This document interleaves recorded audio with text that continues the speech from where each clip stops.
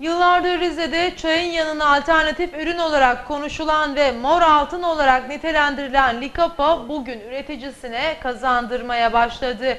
Çaylı ilçesinde de büyük uğraşlar sonucu oluşturulan Likapa bahçesi meyvelerini veriyor artık. Çayeli Kaymakamlığı Sosyal Yardımlaşma ve Dayanışma Vakfı tarafından yerel girişimler programı kapsamında Çayeli'ne bağlı Madenli Mahallesi'nde Likapa yani yaban mersini projesi yapıldı. Proje kapsamında Madenli Belediyesi'nde Hüseyin Yazıcı tarafından bir dönümlük arazi üzerine 250 adet Likapa fidanı dikilerek 5000 liraya mal olan Likapa bahçesi meyve vermeye başladı. Türkiye için yeni ve harika üzümsü bir meyve olan Likapa dünya çapında da aranan ve sağlık açısından sayılmayacak kadar yararları olan bir meyve. Karadeniz bölgesinde kırsal alanlarda ve ormanlarda yabani formları da yetişiyor. Bu proje e, bölgemizde zaten yabanisi mevcut, yetişiyor.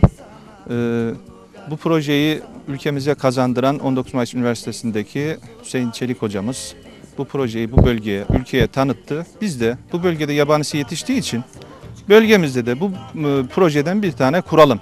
Yetiştirelim, bölgedeki insana tanıtalım, faydalarını anlatalım. Gelecekte de bu örnek olsun, gelecekte yeni bahçeler kurulmasına vesile olsun diye böyle bir başlangıç yaptık.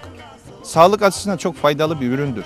Yani bakın biz e, tonlarca para sağlığımızı geri kazanmak için verirken şu projedeki yetiştirdiğimiz ürünün sağlık açısından ne kadar faydalı olduğunu bilseler her üretici kendi bahçesinde bunu yapmaya zaten böyle arzular, istekli bir şekilde e, yapmak için gayret eder.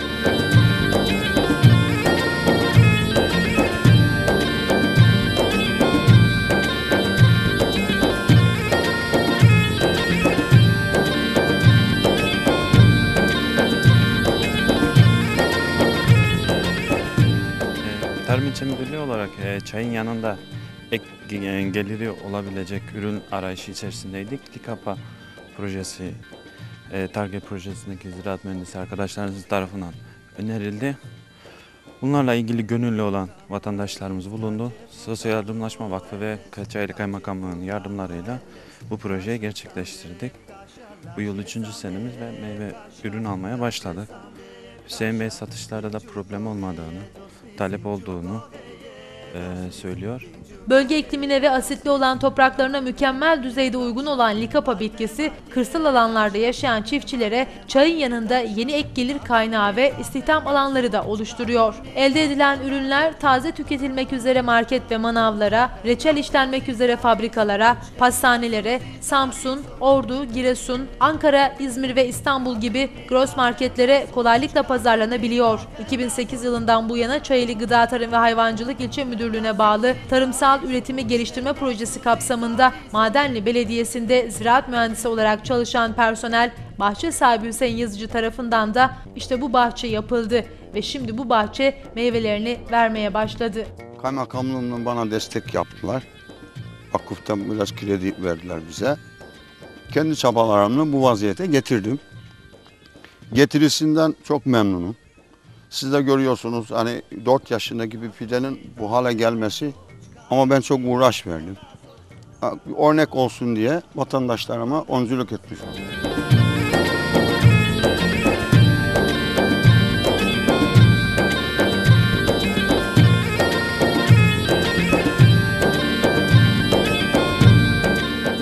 Aslında pek maliyeti yok. Fide parası. Fidesi çok pahalı.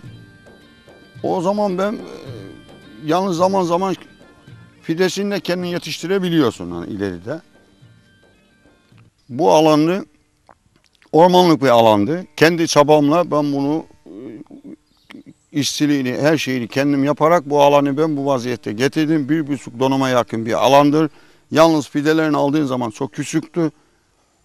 4 yaşını ancak bu vaziyete getirdim.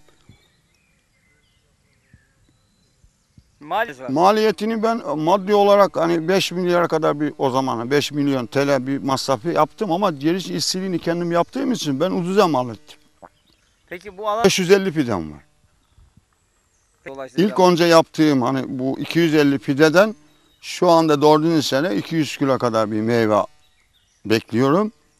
Ama iki sene sonra ben buradan 4 ton şey 2 ton falan bir meyve almam gerekiyor. Hesaplıyoruz 4 kilo ile 7 kilo arası bir fide meyve veriyor. kilo, 3 kilo kadar var. Onun için ben ümitliyim. Fide olacak yani. Bu olmayacak diye bir şey yok. Yeter gayret edelim. Ben bunu bütün bizim o yüksek kesimdeki komşularıma, akrabalarıma, bütün halkıma tavsiye ederim ki herkes en azından bahçesinde, kapısında 3-5 fidan diksin. Kendi reçelini, meyvesini bundan yapsın. Veya ticari yönünden de çok yüksek geliri olan bir iş bu. Ben şu anda kaç kişiden sipariş almışım. Meyvemi bekliyorum. Olgunlaştı mı hepsine satacağım ben. Onun için ben bunun gelirinden memnunum. Uğraştığımın da karşılığını almaya başladım.